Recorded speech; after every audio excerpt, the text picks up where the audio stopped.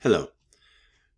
Having spent a fair bit of time trying to process uh, better ways to work through Canvas, I think that there is a feature that we did not use last year that can be very helpful to students.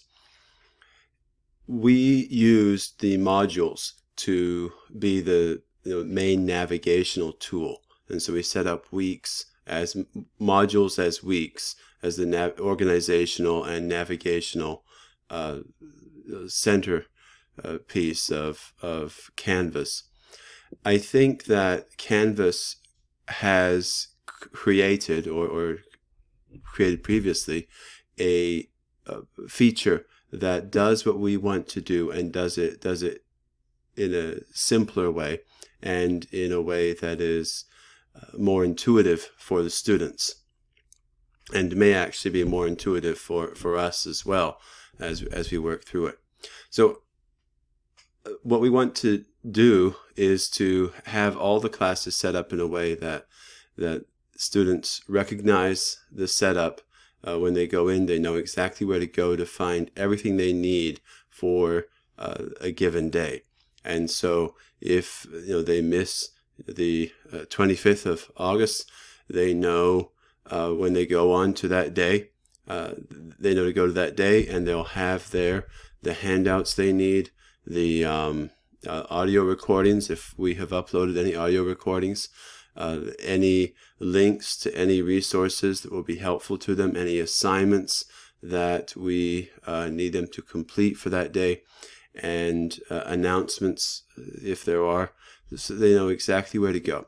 Uh, when you log into a class, in order to, to set to set up the syllabus page, which is the feature that we'll be using. Uh, if you go to the class, uh, I have this class set up already with the syllabus page as the home page. So uh, last year we we had the module page as the home page, uh, and if you want to change your home page, just on the right hand side of the screen, uh, you have uh, a what looks like a you know, little flotation device uh, beside choose home page or maybe crosshairs, I'm not sure, donut. um, but you click on that and it will give you the option of selecting syllabus as uh, the home page. So once you've done that, uh, this page will be your home page. Now it will look different from this, won't have the graphics or any of the text filled in and that's fine. And you don't have to set your page up uh, to look the same, but it's the, it's the feature at the bottom of this page that is what we, what we really want the students to be able to use. And I think it will, it will help uh, in a lot of ways. So at the bottom of the page, there is what's called a course summary. The course summary provides a list of every uh, every event and every assignment for a given day. So events are a feature that uh, we may you might not have used last year. Some of you may have. Uh, but events are created directly on the calendar and it basically is a, is a placeholder on the calendar where you can link to any number of other things.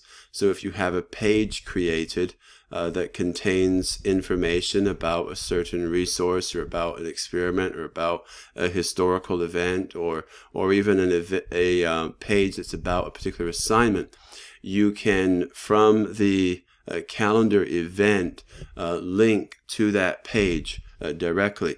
And it's a fairly simple thing to do. But events are also um, easy to create and they're easy to make you know short little statements of what you're covering in class. And so in this case i have uh, four different events listed for the first day uh, which basically say what i'm going to do. And if a student goes to their calendar and just just to point out you can't click um, on the calendar to the to the right uh, it's not going to it's not going to open up anything. You have to go over to the left hand side and click on your calendar for your Canvas account. When you click on that, then you can select the class that you want to work in. Uh, in this case, I'm working in ninth grade theology, and so I go down and you see I have you know four different events there. uh, for that, that first day of, of August 25th. Uh, the welcome to class, there's really no content in there. It's just a, a statement. This is what we'll be doing. Uh, then I have, you know, going over the syllabus, and here uh, I briefly describe what I will be doing. Um, and then there's a state, there's a, the topic I'll cover, which is the introduce the, the idea of the canon of scripture. And uh, so I have some details. And this is just an event that I created really quickly here on the calendar uh, and put it on this day. And I've also got the handouts that I will use in class there. So they can click on those handouts and open them uh, without any difficulty. Um, uh, underneath that, uh, I have an introduction to an assignment that I will be giving. And again, I have handouts and links that the students will need if they're out of class that day, that they can access that information right here. And so that will save me having to collect 10 days of handouts to give to students when they come back. Uh, the good thing about the calendar, the easy thing about using the calendar when you're creating your work, and you could theoretically create everything you need to create directly from the calendar because you can click on the calendar and it will give you the option of creating an event or an assignment or adding something to your to-do list. You don't want to use the to-do list because that will never show up for the students. But with the event, uh, if you create an event, uh, if I just did a random event, uh, and it's already set for that day because the day I clicked on.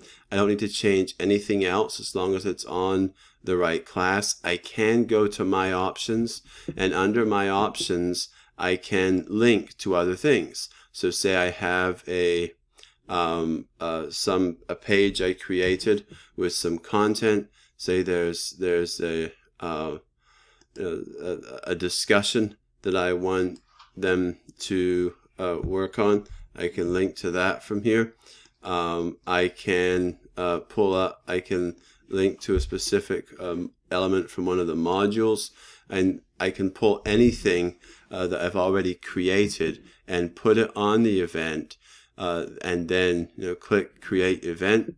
The event is saved. It shows up here, and if I go back to my uh, course uh, to that syllabus page, which is the landing page for the class, it will also be entered under August 27th uh, for that day. And I can, the student can click on it from there and it will take them right into the calendar and will show them those, those different things. So, and the other good thing about working directly from the calendar is that you can, if, you know, I didn't get to this, um, on the 25th, I can just drag it over and put it on the 26th and it will change all the all the dates uh, accordingly uh, so that it's showing up on that day.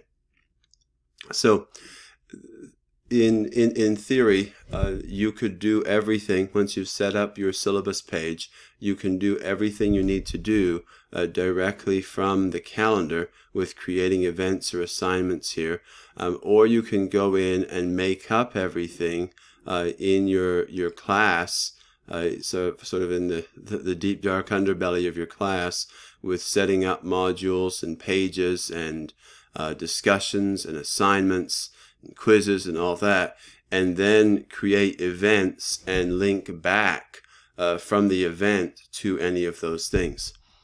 Uh, I think it's also worth noting that it's helpful to students if you put an event for when you assign something and you also have the assignment when that particular thing is due. And so in this case, I assign the memory verse um, on Wednesday 26th, even though the memory verse is not due until September 2nd.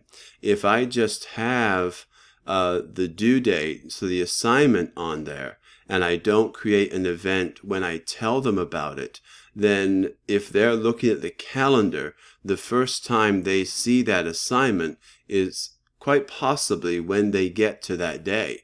And so it's it's helpful, I think, if you create an event to tell them uh, this is the the assignment that's upcoming, and then you have an assignment created on the day when that assignment is due. So um, just to, to recap uh, several things that I've covered. One, you need to set your home page as your syllabus uh, page. So you set your home page as your syllabus page. Make sure that your home page is visible to students. Uh, and then you can set up your your your syllabus page any way you want to. But what's important is that you have this uh, course summary down at the bottom, and and Canvas will generate that automatically.